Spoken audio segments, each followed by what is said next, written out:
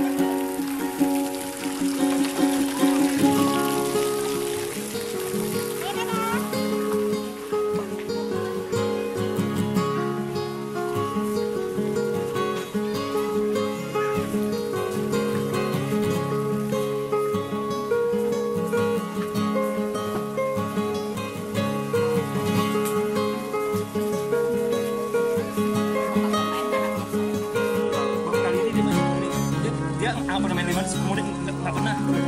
Ya udah.